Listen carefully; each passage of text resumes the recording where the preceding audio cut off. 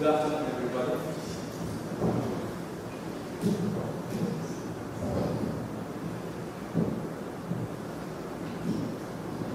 It's wonderful to see you all here. And uh, since there are not that many of us, I would like to invite people sitting in the back up and sitting in the front so that we can see each other better and hear each other. So please feel free to stand up and come to the very front where priority guests or VIPs are supposed to sit. But now it's all yours.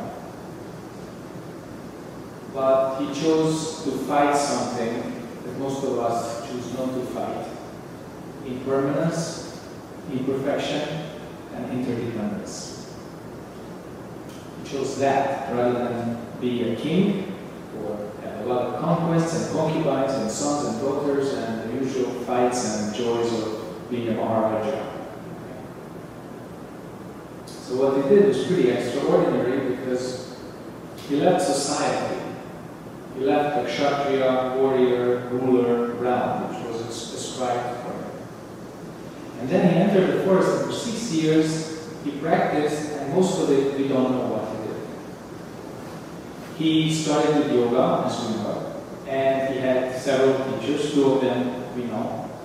And he got also disillusioned by the limitations of that teaching. And then he practiced more and more and more, uh, sometimes venturing into dangerous places, either physically or spiritually or both. He died almost several times. But he survived, and then under the Bodhi tree, which we didn't know as the Bodhi tree at that time, after six years of practice, he decided not to get up before he thinks awakening. So after either 49 days or seven days, again we don't know exactly when, he got the final shreds of doubt cleared.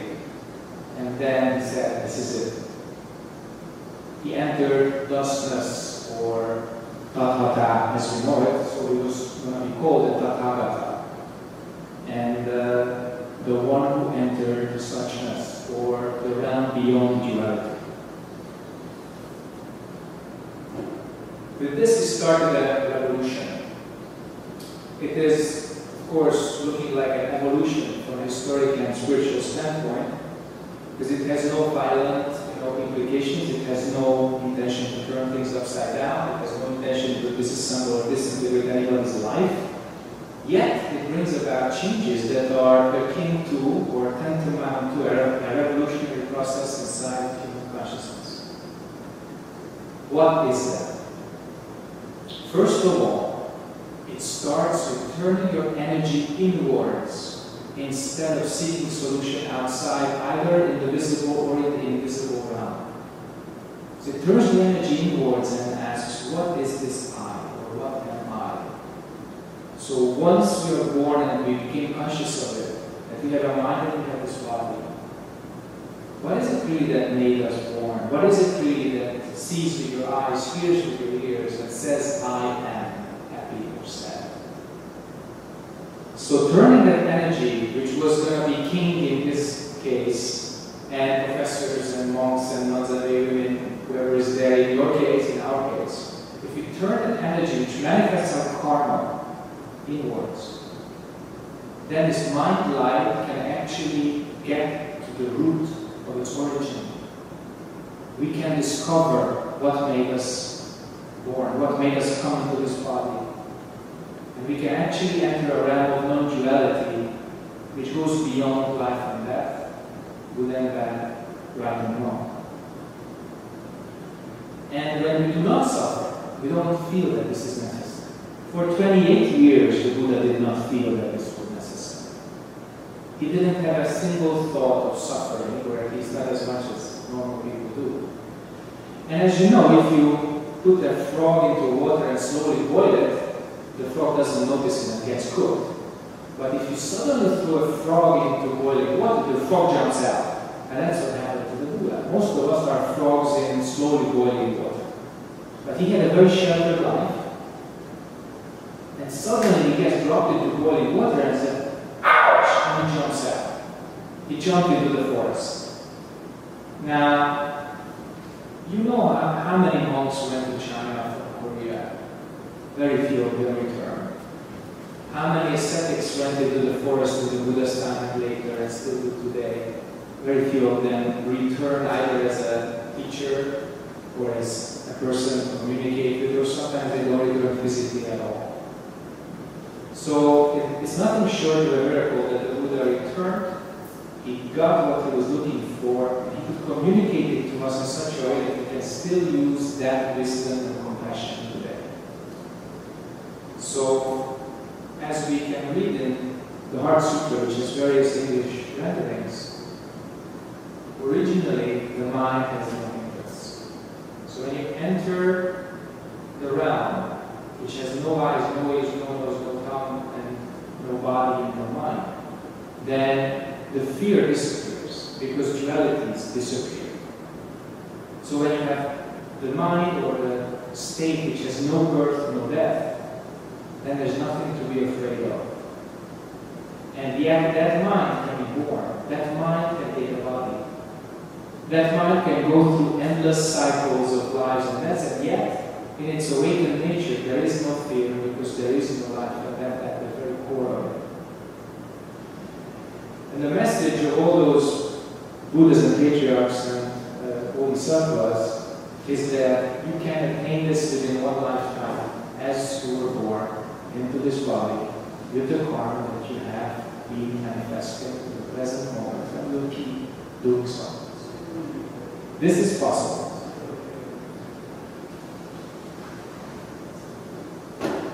So once you get it, supposedly, then what's the result? We talk about no fear. And this is a pretty big thing because from various degrees of being worried, you're slightly worried nearly all the time. Will the next call come, which I my still okay tomorrow? Or will my car insurance, you know, be the same next year, not upgrade to a much, much worse policy than before? So all these slight worries, the deepest fears of losing your health, losing your senses, losing your abilities, or having a world war. These are kind of deep set but more remote fears. And ultimately, the most unseen of it all is the fear of death. It's a very strong driver because we know deep in our guts that we will all die. We came here for a very, very short time, compared to the existence of this earth, to the rocks, to the elements, some animal species, humans as species and individuals are we are extremely short-lived. So what can we do in that very short time? Well, as a species, it seems we can do an awful lot of damage.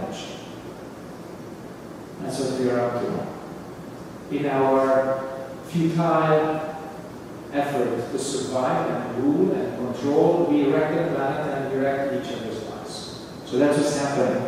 We call the root of this ignorance. So because we are stuck in dualities, because we are stuck in the notion of life and death, because we have never attained a transcendental view which goes beyond all this, we struggle for the wrong reasons. That's why we have wars, that's why we have famine, that's why we have environmental problems, and huge inequalities and all the social problems that we notice these days, and we kept noticing it, you know, for hundreds of years, but never really did anything about them, we do this out of fear. We do this out of aggression. We do this out of our own ignorant mind that produces so much anger or desire. And yet you heard it well, anger or desire, because they are pretty much the same. One is fulfilled and the other is unfulfilled. One is creative and the other is destructive. Yet it's the same mind's energy based on the dualities that you've got. It doesn't matter whether there's a duality between your friend and yourself, or the enemy or yourself, the things you want to get in the Bekwajon, in the department store, or the things that you want to drop at the nearest, you know, uh, relay station for waste, waste station. The same thing, just different polarities. That's all. So in this polarized world, we notice something. We're not exactly compatible. We're not compatible because we feel very cold when it's winter time. Most, I mean, on the earth, when it's quote unquote winter, you're not near the equator, you feel cold. And it's summer, in the subtropical, at least, or if you were in Korea last summer, this summer we just finished, you really felt hot a lot. There was not so much rain. And we suffer from that. Such, such simple things which animals don't even notice, at least not in their own habitat. And uh, we can't stand our own smell, we can't stand the sight of, you know, various events, you know, in us and around us. We get repulsed, we get attracted. So we are with this mind in this body on this earth, and the three do not seem to be compatible. We are the latest of all the primates to be independently walking on earth. It takes us about two, three years to learn basic survival skills. None of the others are like that. So if you look at all these incompatibilities, how we are incapable of living in nature and living with each other harmoniously without struggle and fight for, survi for survival, you realize something's wrong. And the Buddha called this dukkha or suffering, the first of the noble truths. And if you don't realize this before it's too late, you cannot do anything about it. Why? If it's too late, it means you're too close to death. Also, you cannot do much if it's too early because you're immature. If you're 10, 12 years old, you can be propounded with the great Dharma, and yet you may not really understand it because you're not mature enough. So the Buddha's luck, and the six patriarchs' luck, and many people, you know, in their past they experienced this luck that you were at the right place at the right time to hear the Dharma. You were exactly right, like a good fruit, you just, just plucked from the tree, put it in the basket, went to the table next day, and it was just the right fruit, the right place, and you are there soon. So there are many questions you can ask yourself. And the major questions are some things that you can never really answer. At least not satisfactorily, and not, at least not within a short time frame. Why did we come here? In the first place, why were we born? Why did human species appear in this planet in the way it is right now, which is not such a long time ago? As we are, it's not longer than four to six hundred thousand years. Before that, it was totally different. Absolutely different. So we started to incarnate here as the signs and the current findings show, maybe four to six hundred thousand years ago. Before that, it was a different species, different time on Earth, and maybe different time for us. How did that happen? You can't answer that. When will it end? No one can answer that. Are there any alternative places instead of this, which is pretty much you know troublesome these these days? Any alternatives? Also, you cannot really answer that.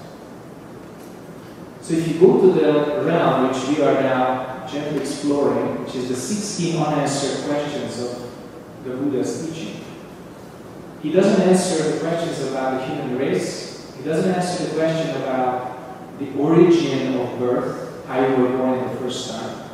He doesn't answer questions about the universe, how it you know, came into being, whether it was a big bang, a small bang, or just membranes meeting or dimensions collapsing, he doesn't answer that. And he tells Ananda that only this much, this many leaves, which he fits into one's hand, that's much, that's as much as he's teaching, compared to his experience, which is like all the leaves on the forest floor. And Ananda asked, No, Lord, why do you do that? We want to know all that. And he said, Ananda, it's not necessary. What is necessary is to see the fact of suffering, the cause of suffering, the end of suffering, and the way to end suffering. And that's why he was teaching everything that he was teaching 45 years. Now some people say 49, but if you add up the numbers, it's five years more than actually. So that's why he was teaching with full focus everything that he did. And whether you read the Pali Canon or the Mahayana collections, the core is the same. And what's marvelous about that teaching is that it has so much redundancy that it's virtually incorruptible. Redundancy means that the Buddha says the same things all over again. From various angles, in various sutras, from various aspects, it talks about the mind and how the mind behaves and what the mind is, and what life and death are, in so many ways, and we always get to the same point that our minds create the whole thing, which is totally not what you learn these days. Either there's another being or a set of beings that create this thing, and we are kind of the visible, tangible robots of creation, and that's where it ends. Or there's some material, soulless, mysterious process that made us into this illusion of consciousness, and everything is really material. It doesn't have a, a spirit or a substance, and it's just a conglomeration of accidental factors together, and then we disappear, just like we appear, and there's nothing before and nothing comes after. There are many, many theories, but the Buddha himself, what did he do? He didn't define anything. He asked a question. And questions open on the mind. You ask the question, your mind has to open. Why? Because you have to receive the answer. Definitions close down. I tell you who you are, I limited you. I tell you what the future is, I limited you. But if I ask you, what are you or who are you, you can start to think. You can have an introspection and discover it for yourself. And therefore, those people who predict the future, they steal the future. Okay? So this is really important to ask the right question and not be afraid of receiving the answer. The Buddha started with himself, on himself, by himself. So that's how the revolution started. And he discovered something which is pretty much parallel to the difference between uh, modern physics and uh, Newton's physics. So Newton, the way he describes this material universe, really thinks about objects as distinct and they're solid, they are in a predetermined path, whether stellar objects or not, you know, he also proposed a creator, at least a creator substance or spirit, a person behind it. But then came Einstein a couple of hundred years later and he says, no, no, no, wait a second. Uh, everything depends on one another. There is no absolutely solid object or absolutely distinct object. Everything is not only connected, but they heavily depend on each other. Gravity, you know, Uh, depends on mass. Light depends on gravity. Weight depends on distance, etc. And time depends on all this. Time and space are relevant. Gravity, light, and all these other physical factors are also relevant and they're dependent on each other. So Why do I bring this here, Roland, the physicist and will never be? Because it's enticing, intriguing, it's supremely interesting that what the West found in the material realm, the East found in the mental realm. So just like you know, quantum physicists later said that this object is not really solid. It's solid to our and that is also solid if we keep it solid. But if we really go down to the depth of this then we find just a flux of energy which has the habit of forming a mat. It's a habitual action that this is a mat. Okay? And for our eyes, it's yellow. For our hands, it's a, it's a nice touch. But if you don't have these, then this smell doesn't really exist. And it's not some spiritual teacher who said that. It's, it was physicists starting in the 30s and 40s who said, with this kind of mind, if you examine the universe, you get limited results because your mind is limited eyes, ears, nose, tongue, body, and thinking. Is it familiar? You have it in the Heart. That's why we experience the universe as we do, because we have the five senses in this physical body, plus the sixth here. Okay? So that's really interesting. Because the Buddha said exactly the same thing in the mental realm. Because you have the notion of I, the solid ego, you feel distant from one another. You feel separated. You feel polarized, friend or enemy, good friend, bad friend, etc. Because you have the five senses, eyes, ears, nose, tongue, and touch the body, you have the realm of seeing, hearing, tasting, smelling, and, and touching. And if you don't have these consciousnesses, it doesn't exist. So this is really, truly revolutionary because the solidity of ego was prevalent in Western society until very recently when uh, psychology actually turned against its own premises and Freud is turning in his own grave because uh, if you read the current trends, they, they want to stop counting with the solid boundaries of the personality. It's really dangerous in their own terms, but they really want to stop doing that You know, trying to define ego as something distinct and solid. You know, Western psychology works with strengthening your I, always.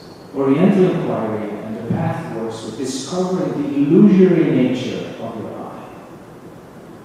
And it turns out that psychology, you know, especially cognitive psychology, which is the most conservative of, of all these, you know, uh, branches, they had better really accept the illusory nature of I and not try to strengthen them and if you come back to reality, ultimately it's a more solid and secure ground to the patient and also to the therapist as well. Instead of trying to reinforce an illusion which doesn't really exist. Both fields have merits. Why? Because in the Orient, the supreme inquiry was what is this? The great quality you know, which is the root of karma This place is about karma So when you ask this question, what am I? What is this? You are really on the path of the Buddhas and patriarchs, and no matter how many days you can get there, just keep practicing. However, in the meantime, this illusory ego has to function core thing. And you have to solve your emotional problems and cognitive problems and life problems, etc., etc. And it's very interactive, not introspective like it's very interactive. Because we interact with the world and each other. So Western psychology has actually a lot of merits treating these problems, although the foundation was sometimes a little bit narrow, not as extended as the mind base of Oriental thinking. But treating karmic problems, bringing it up to the surface and not repressing them, bringing them to light in an encounter form, think about Gestalt for instance. that's really the merit of the West. So dares to talk about it, Orient, just shut up about the problems, push it down, and maybe it will disappear because your environment has changed. But that's why how that's why and that's when people can sit in a neurosis for 10, 15 years. Because they didn't address the problem inside. They didn't lay it out, at least not before themselves. They didn't see it clearly. They hope that, you know, if they repress it they just keep their hwadu or keep their Yongo, it will just go away after a while. And guess what? It didn't because the roots of the problem have not been uprooted, which is your own dualistic views. And if you want to do that, you have to see clearly. That's why we teach in meditation. When you meditate, keep your mind clear like space, clear like a mirror. Implied that in this mirror you perceive everything, even the bad stuff, even the worst of your movies. And when you have done that, then you can be patiently unwinding the wheel of your karmic film and not put on a new one. And then you attain the light which projects everything onto the canvas of existence. We can do it. But for that, you have to be bold enough, courageous enough to see and treat your problems, whether it's introspective or interactive. And Western psychology has pretty good tools for that. But the, but the Orient has the spiritual foundations for that. So if you combine the two with uh, careful steps, you can get some pretty good results. Both are necessary. So when we have like Sun Moon Cup or Zen interview, is the gateway to kind of interactive solutions. And when psychology says that you have to discover sometimes inside and not with the help of your therapist or interlocutor, then you're on the path to meditation. So ultimately, the fields will get closer and they will cancel out each other's redundancies and they will be very helpful. In fact, uh, I heard from some American practitioners that if you want to enter the psychology department the University of Wisconsin, that was 20 years ago, if you didn't practice meditation, they would look at you like this. What? Why are you so behind, man? So, because it was very trendy already from the hippie age. And it took like 10, 15 years to get into the department. So, see for your own sake and for your own friend's sake that what you're practicing here as Buddhism or the path of the Buddha, which is more relevant. Buddhism is a Western creation. The Buddha never talked about ism. The West did. And those scholars did that made the first book. So, uh, even Buddhyo is something that Buddhists here, like the Buddha's teaching, they use it but they don't really like it. Bulpa, Buddha's Dharma. That's the designation that people like to use here, Bulpa. Or Ulto, which is in our Fogek house, the Buddha's path. But it's not an ism. Ism is based on these discriminations and distinctions, like uh, this ism and that ism is different from third ism. Okay? And we we are not about that. It's really the self-discovery which is always fresh and always new, because you, you have just been born. The next moment you may die, but you can ask a good question in between and discover something which no one else can. So because of that, the Buddha's path or the Buddha's teaching will never stop being relevant. It's our job to refresh it or update it or make it palatable for the new generation. But it will never be outdated. Why? Because we are here on this earth, in this body, with this mind. As long as we have that situation, the Buddha's teaching will be relevant. Because once you're born, you realize you will grow old, get sick, and die. So the four misfortunes are just lined up. As long as you have that situation, the Buddha's teaching will keep being relevant, and it's our job to dust it off, always, all the time. Sometimes combine it with the right ingredients, just like to make good panchan, if you want to eat the good jongshik, okay? And then you eat that, and you combine it with the main meal, okay? And the West, with all its achievements and attainments, had to give up the illusion of the solid atom. So from the Greeks until they actually realized that nearly 2,000 years. That's good. The solidity of the ego, also gone. Very good. But how we use the discovered thought processes and emotional processes, that's our job to decide. Now you have a device which can read your brain, even plays flipper through a computer. So how do you use the discovered mental processes? Do you use it for special intelligence? Do you use it for manipulation? Do you use it to make a better world? Or you just leave everybody alone in their own way to discover the best path for themselves? We just cut it out. It's all our direction that matters. Because if we don't decide in a clear and good direction, then you can get the best of the best capabilities the deepest discoveries, and yet everything will turn into darkness or evil if you try to control, attach, and grab and hold. And that brings about suffering. That's all. So even the best of the abilities can result in that. The computer scientist who designed the first virus never knew what was going to happen with computer viruses. And it turns out they're the most prevalent weapons in war, at least these days. Okay.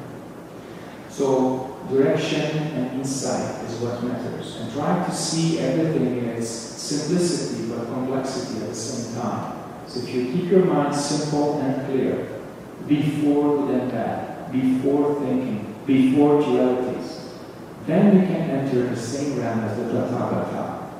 Thusness, suchness, or just like this, where the floor is just brown and the mat is just yellow. And somebody is hungry, give them food. And somebody is thirsty, give them drink. It's all possible to do that. Many times they ask me, what did you learn in the last 22 years? I said, too much. I should have forgotten more. So what do you forget during the path? Do you forget your prefixed ideas? Do you forget your notion of solid I? Do you forget your desire, and anger, ignorance? That's our job. So when the sutra says there's nothing to attain, it's true, but there's a lot to lose. And don't count your losses. Everybody wants to gain. All the countries want to have a higher GDP. Everybody wants to have a higher living standard. And in the meantime, the earth is going bankrupt. We don't have enough water.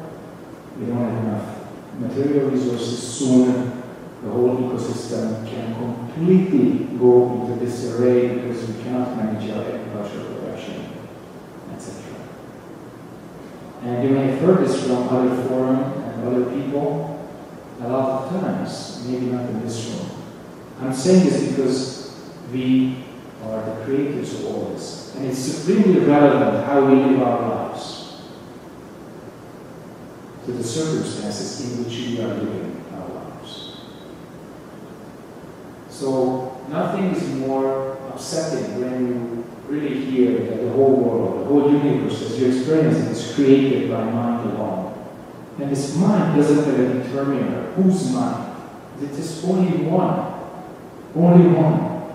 Not several. It seems we have seven billion people, but we share one mind. Okay? We call it human consciousness. And the collective output of that human consciousness is really not that great. We have work to do. But it seems that the external effort, with all the territoriality, political and economic domination, and all the endeavors that we experience as the big trends in this world, are going totally the opposite way. By itself, that wouldn't be so bad.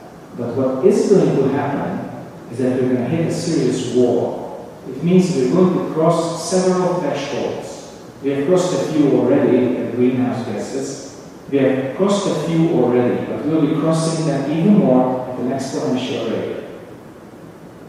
And from this seat, I can humbly tell you, don't even think about any end of the world. It's not going to end. It will be too easy. It will be too simple as a solution. It's not going to end. We have to clean it up. We can make it infinitely worse, or we can make it infinitely better. We can make this earth available for even 50 billion people instead of the current 7 if we change our minds, if we clean up our mess, if we create a different life and that situation for all of us. It's all up to our decisions. Our direction, our decision, and the outcome. It all depends on us. So this is why discovery of cause and effect, discovery of the self, discovery of this world are so paramount and important. There's nothing substitutes that. You can get the best belief system, the best orthodoxy, the best dogma, the best doctrine, whatever you want to believe in. As long as it's external, you are like a controlled robot on some autopilot. And the moment you have to handle a critical situation for which there is no prescription, you're done. And it seems that we are stuck in the old patterns of war and peace, famine, and you know, uh, affluence, rich and poor, and we don't seem to make it any better. So we have to start with ourselves, if you will. You don't have to. But in this situation, you have very few actual choices. I'm not talking about the choice of this president or that president. That's not a real choice. The whole system is the same. I'm talking about real choices to decide whether you want to be the problem or the solution. You want to suffer or you want to help those that suffer. That's a real choice. That's something you need to decide for yourself. Do you want to be the problem or the solution? Do you want to suffer or help those that suffer? Moment to moment, make that clear for yourself. And then you can live a more meaningful life than before. So before it gets too boring, because as you notice, we repeat the same thing from various angles again and again and again. I would like to invite questions. Any kind of question, whether it's about Dharma or life or anything or death or world situation, your life, doesn't matter. And I'm, and I'm going to try and answer that. Okay. Ahead. Can you talk more about the attitude of taking meditation? Yeah. Um, do, you, do you do any sports?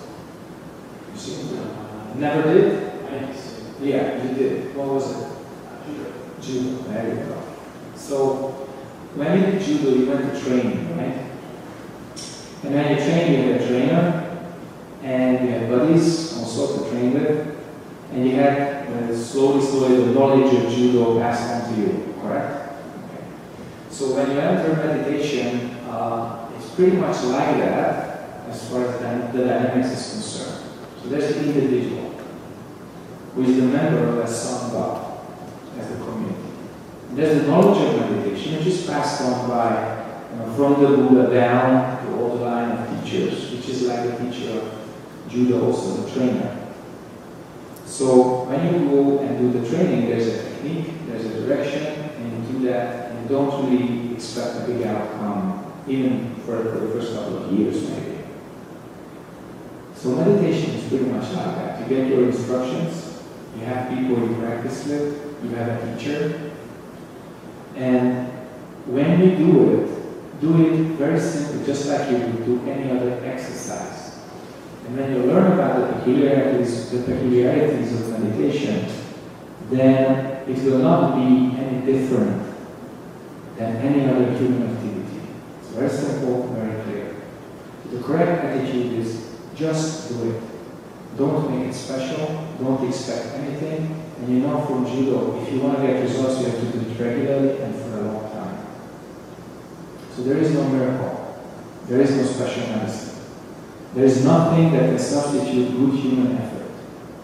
So uh, I'm not going to go into the details because that's a different occasion of the Dharma talk. But when you come to meditation class anywhere, either here or any other, you know, someone, they tell you how to do meditation and you know, the teacher also tells you that meditation is not the technique itself, like the food is not the spoon that you use. The food is what comes, you know, via using the spoon.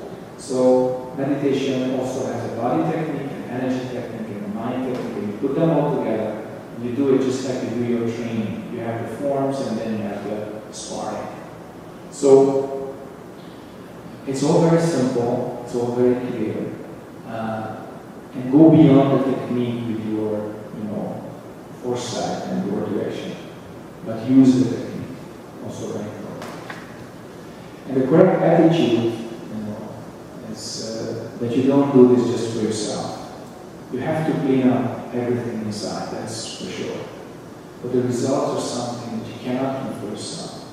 Because when you get to a certain stage, you realize that you and all human beings, like I said before, Separation is only an appearance. Deep inside, we are all connected. And when that substantial connection comes as a realization, that's the root of compassion. When you discover how the world works, how cause and effect actually operate, that's the source of wisdom.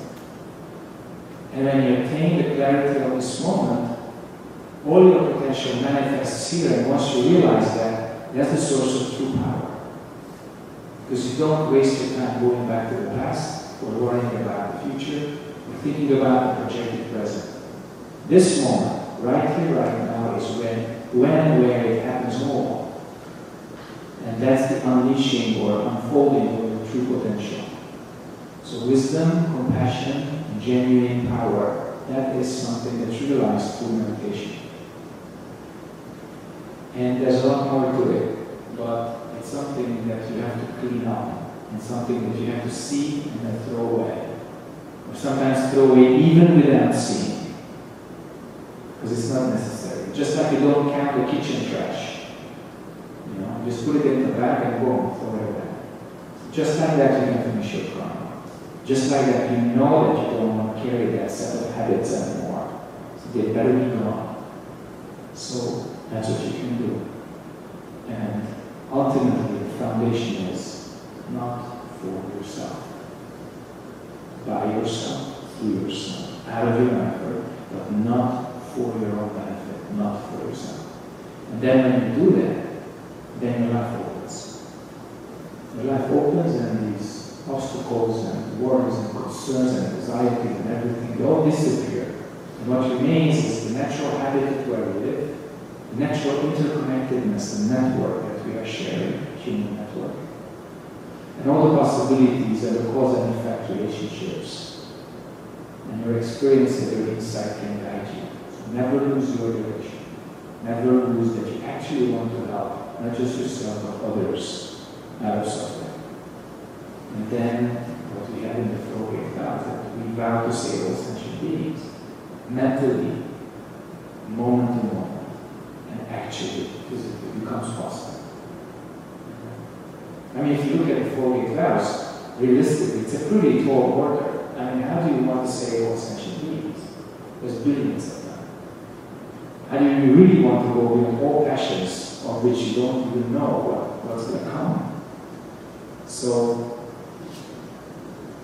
you really have to see that we have to save the beings, all beings, from the suffering that we would inflict upon them.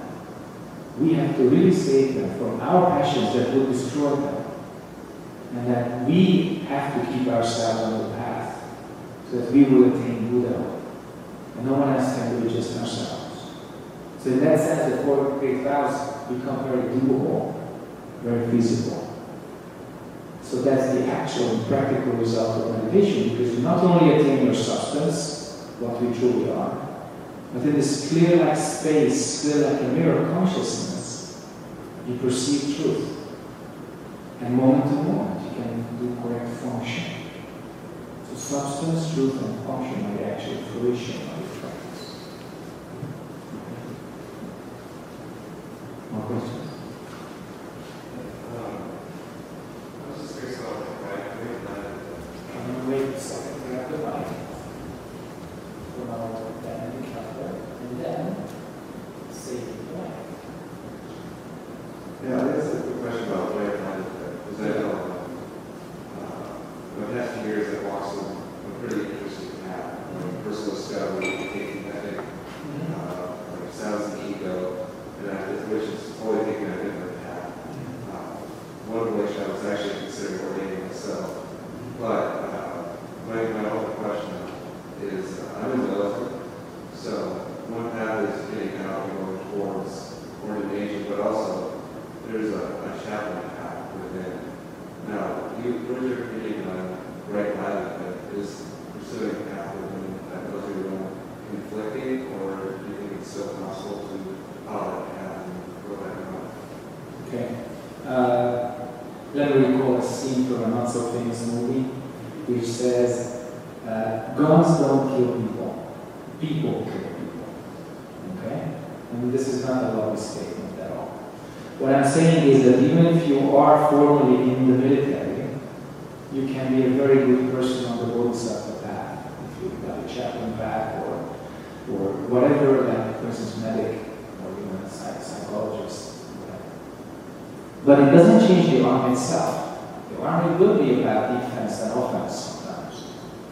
So if you don't feel comfortable with being with- in the army, because you see the general direction that it takes, then don't be there. But by being in the army by itself, that's not a bad thing.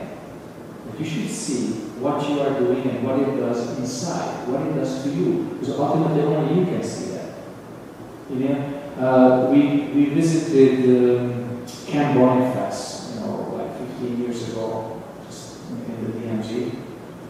And uh, there are guys, you know, who would never listen to anything like this, in your case. We met a chaplain, we met kind of one of those guys who were pumping iron four or five hours a day. And they were, they were kind of the cute Marines, you know, they actually wanted to be, but in fact, they were probably the most dangerous people outside, you know, of the special zone, you know, who were not exactly on duty, they were just having fun. And they had time to talk to us. But their buddies, they were there, you know, having the AK-47s, you know, set right against North Korea. It was, it was a hot zone. So what I'm saying is, you should decide for yourself whether this can be a right livelihood for you. What you are doing inside the military, is that a right, right livelihood for you? If you were a, a gunner, you know, infantry, or you know, something that actually engages in, in killing people, from this seat, in my position, I would say that's not the right livelihood. Because you are killing people. You are causing suffering. But I was a soldier myself. 20 years ago, no, actually, that was little over 25 years ago, got discharged from Iraq. It was a conscripted army, I had no choice. But I understand no soldier's mind and soldier's situation, although just for one year. Because in the old Warsaw Pact, you know, and we had the doctrine that if we ever receive the ukaz or the word from Moscow, we are supposed to go down to Rome, you know, and wait for reinforcements. That's kind of stupid doctrine, you know. We would be missing in 90 seconds against NATO forces. We know it. So at that time, I was already dealing with some spiritual you know, things, although not Buddhism, but already Oriental. I was into yoga, etc., etc. So the question of non-violence came up. And uh, my friends and me, we made a decision.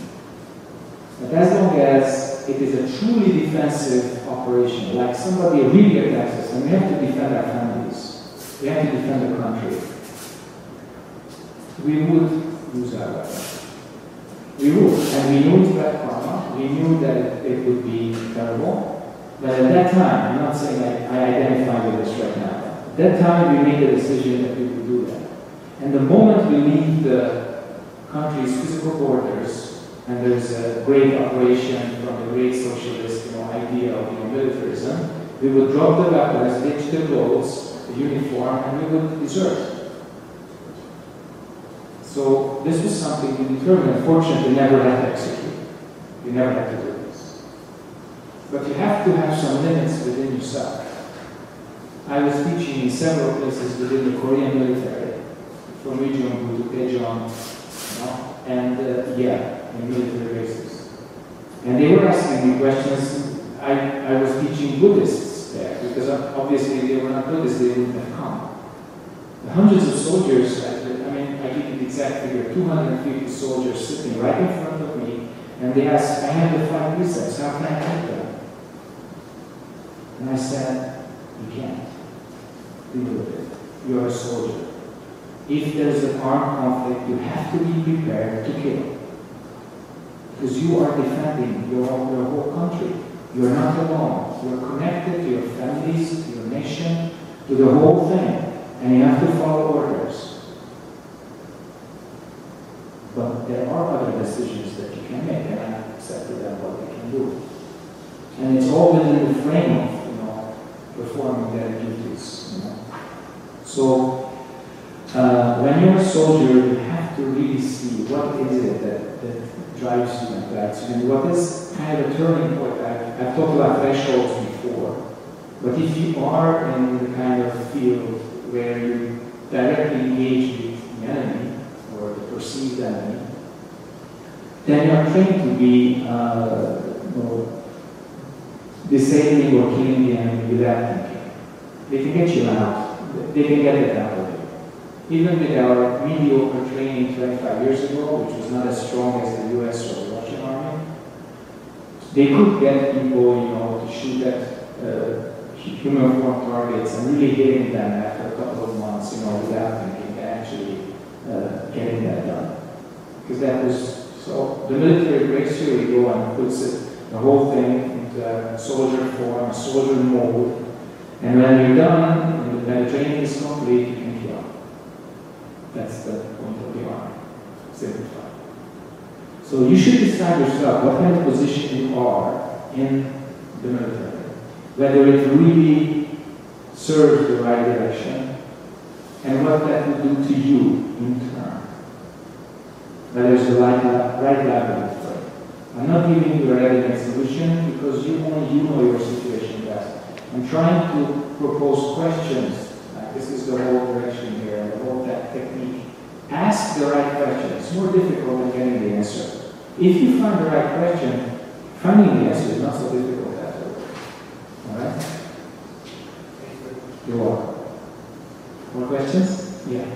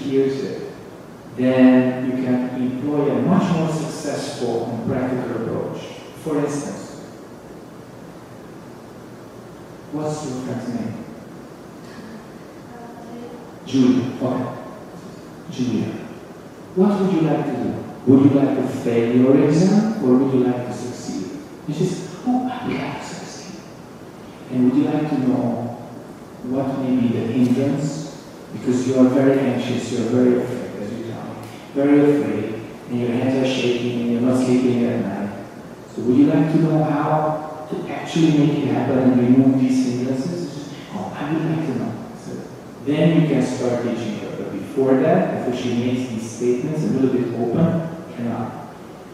A mind which is in pain, fear, and anxiety completely closed down all the ports, all the access, except one. One. It's waiting for a solution. But the habit of such fear or fearsome mind is they don't let the solution in. They're so narrow. Okay? So sometimes also in a state of shock, people are they're shaking, but they're afraid to open their eyes. They don't hear what you're saying, and, and, and you can't move them because they are, they are frightened. But they are in a state of shock or suffering. So what you can tell your friend is that look, there are cause and effect relationships in this world, and if you use them correctly, you pass the exam, and if you don't use them correctly, you fail the exam. Would you like me to help you? And if she says, no, I'm fine, and leave her alone. Maybe she has to fail, and then she will start listening to you. And uh, it's totally an intellectual cloud yes, everything is created by mind alone. So if I fail the exam, it's also just created by mind alone. Well, it doesn't mean that it doesn't exist.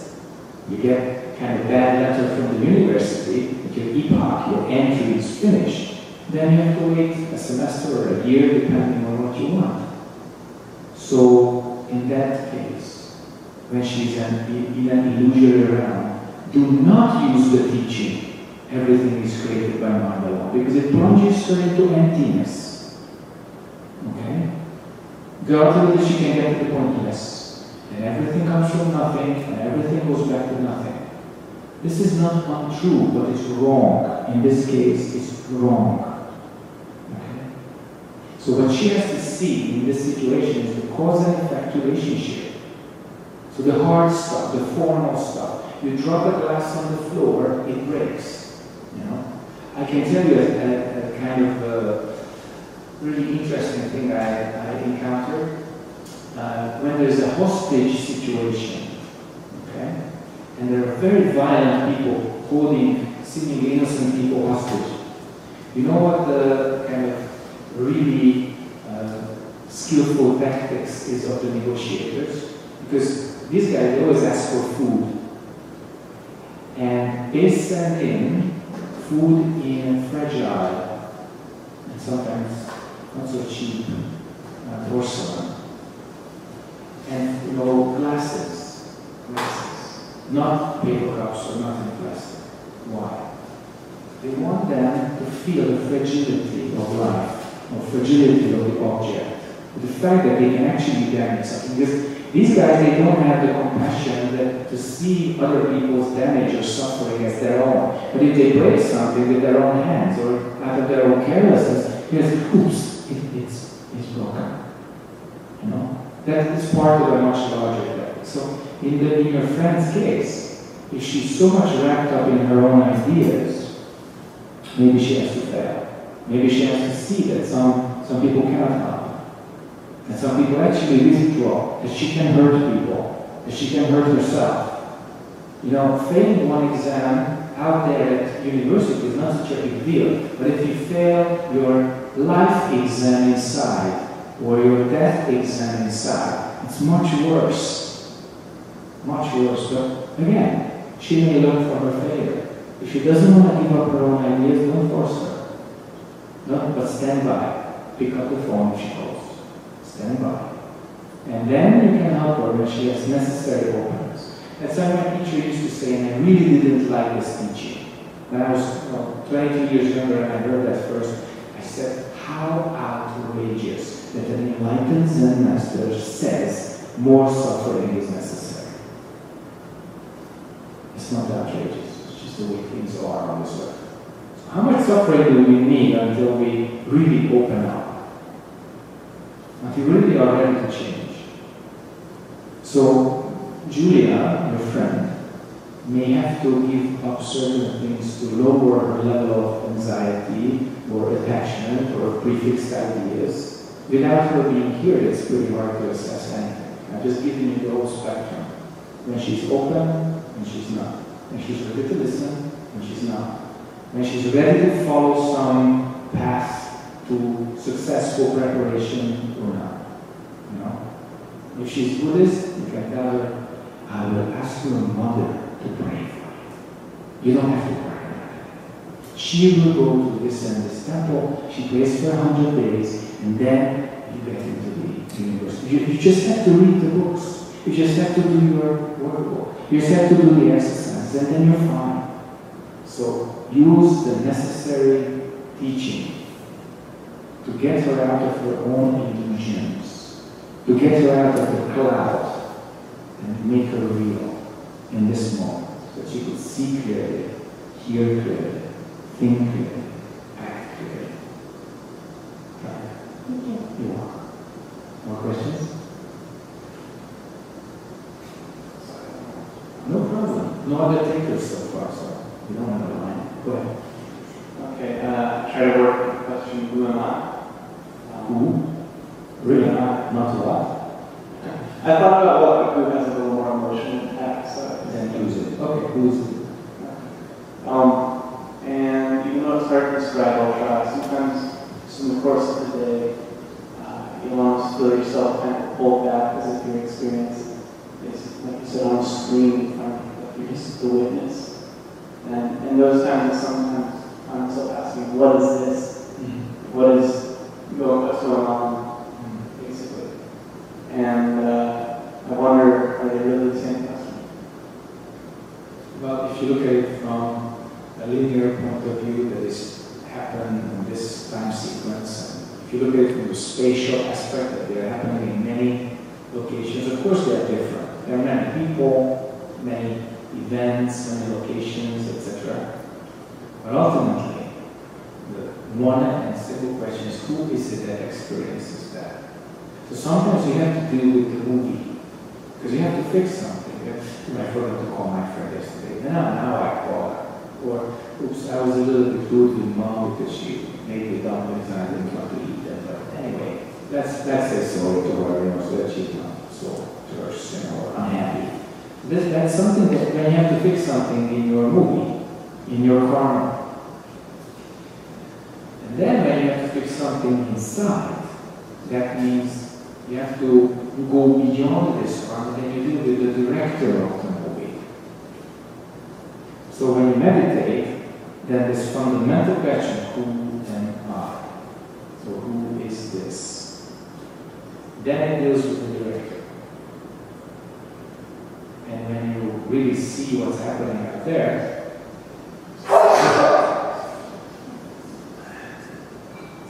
and when you see the movie and when you see some tough parts in the movie, then you may have to resort to some external solutions. So, uh, are they the same question? No. Are they different questions? No. So none of these logical categories apply. Sometimes you have to zoom in, sometimes you have to zoom out. It is the same world.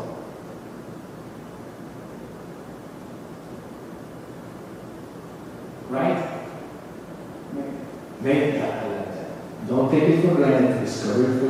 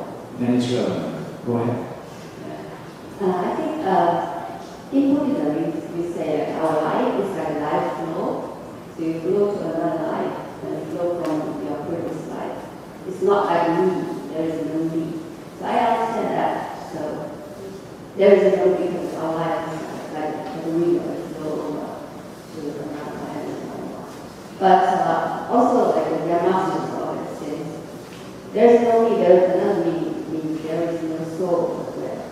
So like, uh, you think, you feel there is a me inside, you know, enlightened person.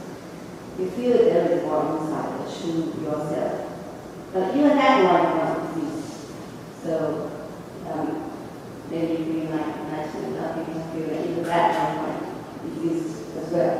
But in that case, what kind of thing will blow you to another life? Or what kind of thing came from the previous life? What, who is, you know, going again and again to the life? Even if, if, uh, inside from that also. Uh, you have a lot of H there. Did you notice that? Yeah. Okay, that's the problem. You know, in, in physics, there's a saying, infinities the equation. So if you have a, an equation and there's a lot of these lying down number eight, you know, after a while, you can't do anything with it because there are so many uncertainties. Because infinity is uncertainty, finite is certain. So if you have a lot of what ifs, it's like infinities in the equation. But one thing that I would like you to look at again, you said life is like a flow. That's being caught up in linear time. Great teachers, they used to say, originally this world never appeared and never disappeared and never moved. This is the foundation of movie or non-action or not movement. But as the foundation of your true self, where your mind which is before thinking, you call it munion, which is no thinking mind, or before thinking mind. So don't picture life and death as a flow. It's just your karma. Being attached to your karma stops you from seeing it. So this not moving mind is what sees it. And yes, you can perceive it as a flow, but originally it never moves. Find out what made it into a flow. Find out what moves it. Really. I mean, you know, I found out what moves it. That one, one as. So So who's talking to me? That's why that one who is talking to you is not well if you look at deeply. So who is going to survive? Did you really been in the pool? You should.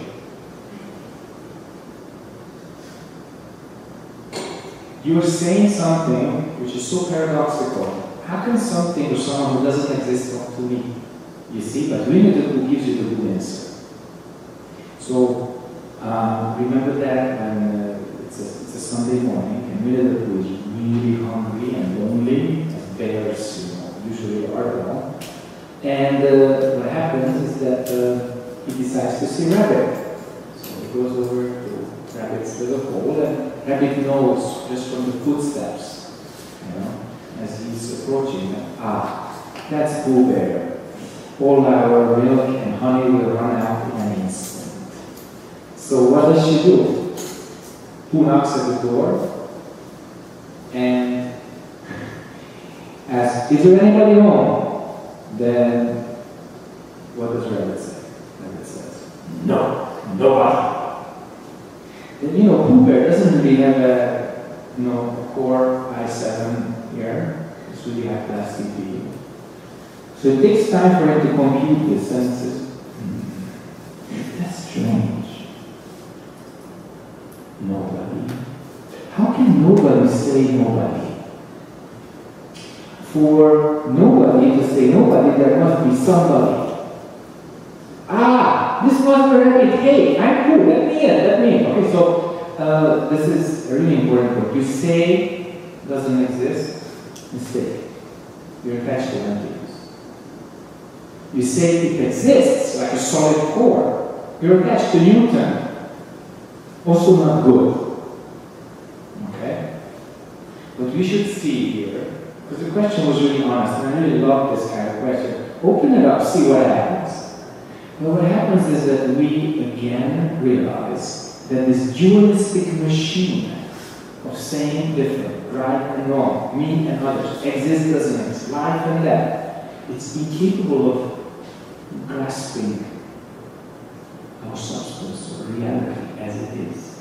It always spices it up and makes it dualistic. And that's why we feel that sometimes reality is distorted. It's not the way we want it to be, but we distorted it in the first place. So you say it exists, mistake. Doesn't exist, mistake. Right now, what are you doing? Great. Is that existence or non-existence? Just listening. That's it. That's all it. It's more simple than the mind would think. Because you think, immediately you cut it up into pieces. It's gone. Either it slips into existence or non-existence. Yeah, we are born. So when we connect to the mind, sorry, connect to the body, our mind connects to the body, we call that birth, being born. While we are connected and we use this little rented car drive around and do our own rides, then it's life. And when you start to separate, you start the process of dying. And we are fully separated, body goes to the garbage, mind goes who knows where, depending on what you've done. Up, down, middle, which world, which existence, we don't. But there's a state of death or not being born. Now, if you look at all the historical, cultural, whatever ideas that we have around these four concepts, the two shorties being born and dying, the two long ones being the state of death or being the state of life. Now it's really hard to shave all that off, to clear that and to really see what's going on with body and mind in these four states. And that's where existentialism or, or all, all these ideas come in. Well, do I exist or not? Well, wrong approach. You are in this body, listening at this point, that's all. And if you want anything bigger, then you have to take a totally different approach. What is it that goes through this cycle of life and death? What it is that is really the listening? Now, if you ask that question and you sit with it, the result will be very different from existence or non-existence. Okay? My question wasn't about the reason. Wasn't the existence of I come up with this uh, the body some mind separate from each other people are. I'm saying where is that mind? What is that mind? Oh, that mind really exists. You I think I think you got the answer that you needed. You just need to digest it a little bit. Right? It contained what you were asking for, but it was not what you expected. Correct. Good. More questions? If you are smiling, you're thinking. If you're thinking, you have a question.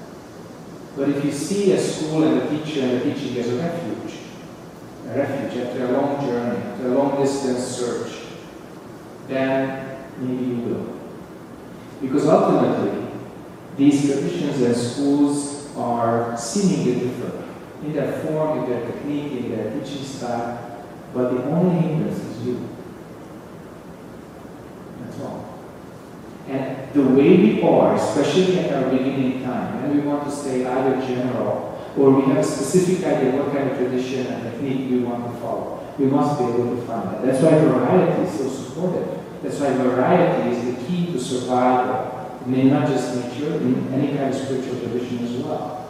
If we fail to produce varieties, we cannot address the minds of the problems that surround us.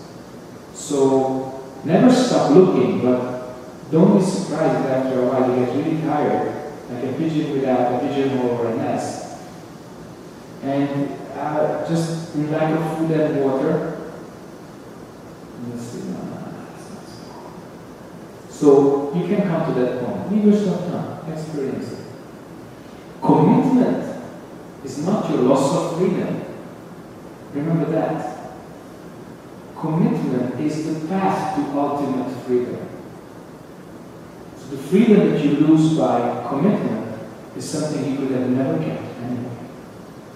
So it's not just about schools, it's about relationships as well, ultimately you will have your significant other unless you have her already. So you will. And when that happens, that she'll ask you questions. Treat her responsible, not the Bodhisattva compassion. She will ask you the necessary questions which women are supposed to ask from men. And that will be largely about commitment, whether it's short term or long term. And for them, it's never about your freedom. It's about living together or doing things together. And you realize, oh, maybe my life is less without her. So consequently, without your idea of freedom, your relationship will work better because you'll be able to commit yourself. There's a, there's a lot of compromise involved in. So similarly, in, in terms of uh, you know, schools, sometimes you have to compromise. But let me give you just this one guideline which probably will help you. In a school, you have to see the teacher, the teaching, and the students as something that, that receive and welcome you. Not necessarily with a big smile, but de facto really letting you in. So there is no false secrecy, there is no this kind of very, very extended hierarchy, and you cannot even talk to the teacher. I say all this has to be accessible, and the, the books of the teaching have to be available. I'm saying this because there's so much junk around, and under the hood of mysticism, you get basically spiritual abuse many times. Okay? And secondly, if you find it, you know, accessible, available, appealing, all that, still you can have many choices, but the teacher has to connect to your mind. You have to feel that the teacher knows you better than you know yourself. That the teacher can actually help you better than you can help yourself. And that, all that has to be directed towards your own independence. And this necessary spiritual superiority is never used by the teacher to your, as a student, disadvantage. It's helping you to become independent. It's helping you to grow up. If, if that's checked, it's a big thing. Then you find your teacher.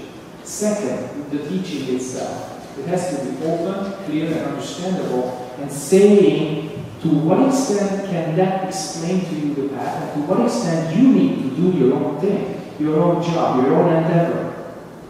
That's also part of the teaching. We can explain it to a certain, a certain extent, and beyond that, we cannot, that's it.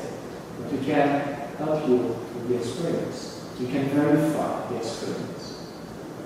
And then the Sangha, they, they have to be inclusive enough to accept. Can you have friends and opponents and good people and bad people within the Sangha. It's always like that. But the amplitude is very small and much smaller in terms of ups and downs and good and bad than in the outside world. That's also an, a necessary attribute of a good Sangha. So there are always human waves, emotions, and thoughts going on. But it's never destructive and it's never so extreme as in the outside.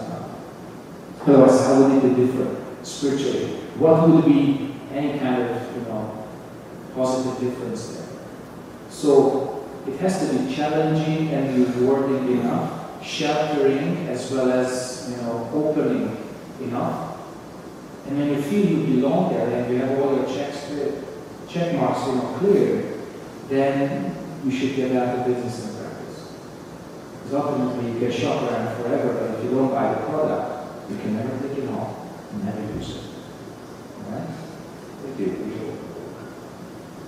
More questions? Ladies and gentlemen, we have time for two more, and then we are basically falling silent into meditation soon.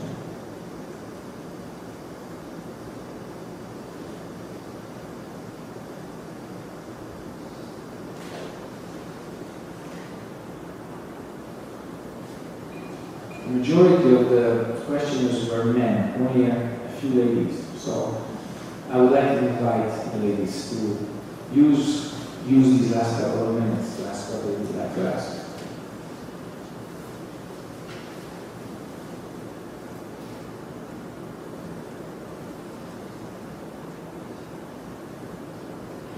it's all open.